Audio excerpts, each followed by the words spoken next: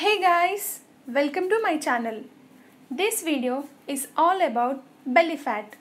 Flat belly is something that everybody wants, not even men but also women. Due to some reasons like taking fast food or after delivery, some might have a belly. Reducing belly fat is such a huge task that everybody gets tired of.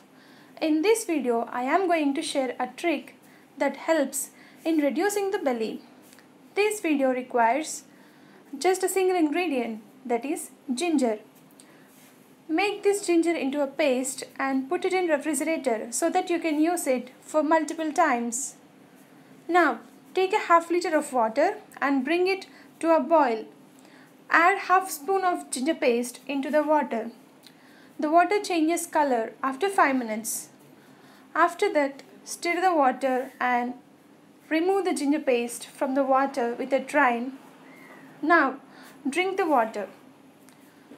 I would suggest you that you need to do this at least for 3 months so that you could see a change in your belly.